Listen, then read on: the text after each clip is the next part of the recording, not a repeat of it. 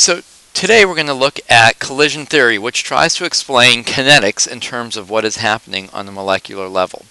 In the previous two classes, we've looked at rate laws and integrative rate laws, which are experimentally determined.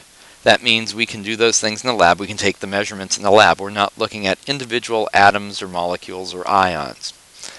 Um, so when we look at individual atoms or molecules or ions, we use something called collision theory, which says that these individual atoms, molecules, or ions must collide in order to react.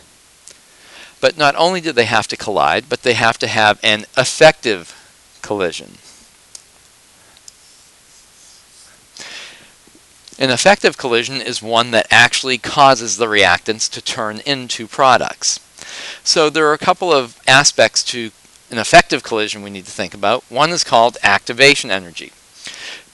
If the molecules collide but they don't have enough energy to cause anything to happen, then they do not have sufficient energy to react. So the amount of energy they have to collide with in order for them to react with each other is referred to as the activation energy. We also have to look at orientation. Because the molecules have to collide, they also have to collide in the right orientation in order for the parts of the molecule that are actually reacting to react. And so that has to do with the structure of the reactants themselves. And we can also take a look at, on the atomic level, on the molecular level, what's happening with concentration and how changes in concentration affect what's happening on a molecular level. So let's look at effective collisions. Here's a reaction, carbon monoxide plus nitrogen dioxide becoming carbon dioxide plus nitrogen monoxide. So pretty much this carbon over here is picking up an oxygen from this nitrogen over here. So in, in order for that to happen, two things must occur. First, the carbon must hit an oxygen. So the carbon is hitting an oxygen. So a carbon to oxygen bond can form. The other thing that has to happen in order for this part to occur is that I have this carbon must hit this oxygen with enough energy to break the bond here and then form a bond between carbon and oxygen. So for this effective collision to take place, I need this orientation and enough energy.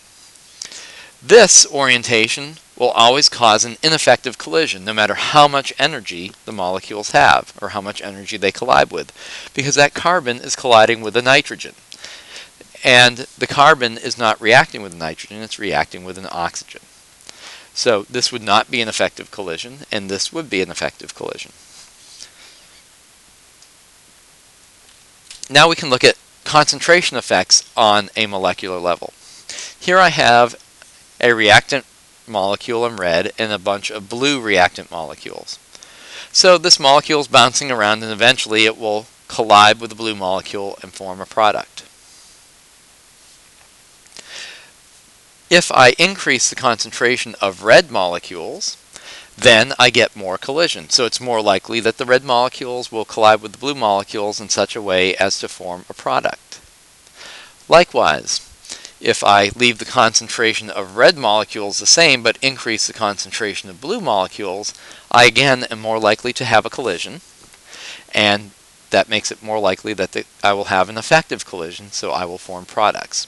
So this is how we explain concentration effects on a molecular level. Now we can look at this graphically by looking at a reaction profile or an activation energy diagram. That's another name for this. So on the left we have our reactants, and our reactants have a certain amount of energy associated with them. Over here we have our products. Our products have a different amount of energy associated with them. So that difference in energy between reactants and products is my delta H.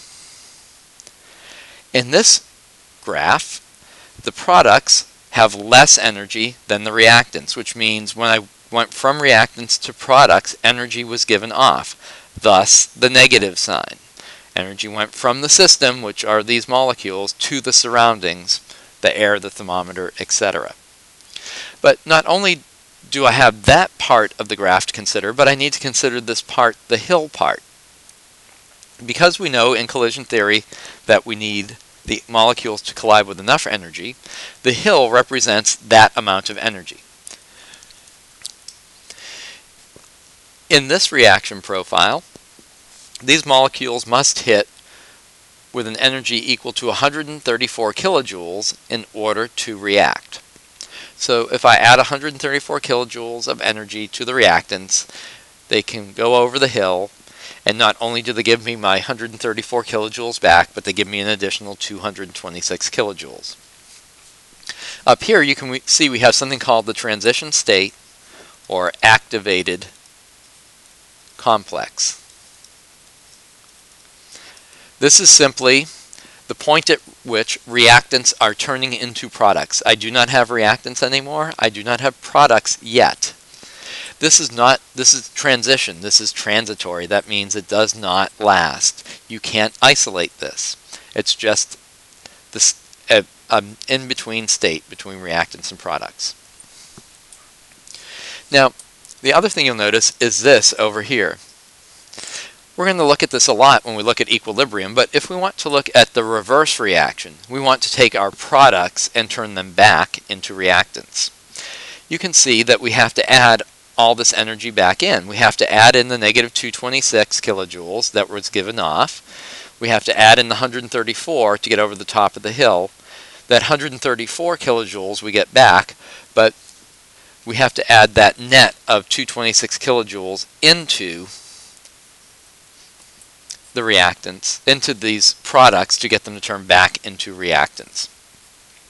So we can see that the activation energy for the re reverse reaction takes us from all the way down here and over the hill. So even though this hill itself doesn't change, the graph doesn't change, when we go from the forward reaction to the reverse reaction, we have a different activation energy. Okay, now we're going to take a look at the effects of temperature on reaction rate. We know that a rate law is good at a given temperature because as the temperature changes, so does the rate law. So here we have a graph, a distribution of the amount of kinet number of molecules with a given amount of kinetic energy at two different temperatures. So this is fraction of molecules with a given kinetic energy on the y, and then this is the actual amount of kinetic energy on the x. This is referred to as a Boltzmann distribution.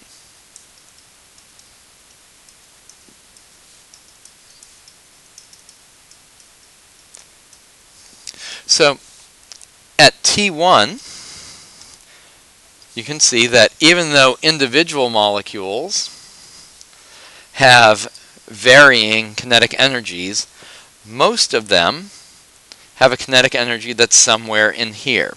And in fact, in chemistry, we've defined temperature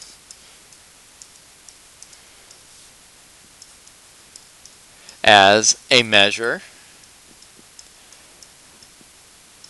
of the average kinetic energy of molecules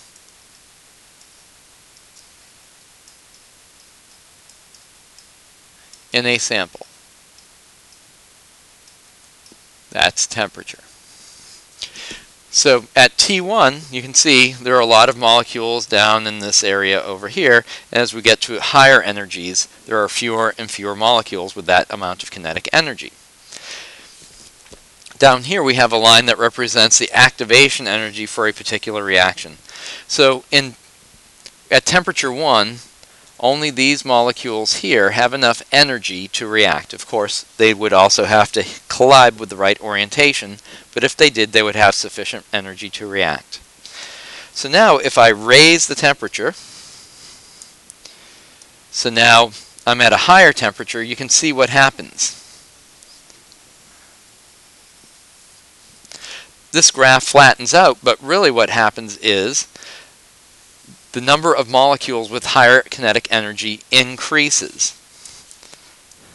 So now I have more molecules with higher kinetic energy.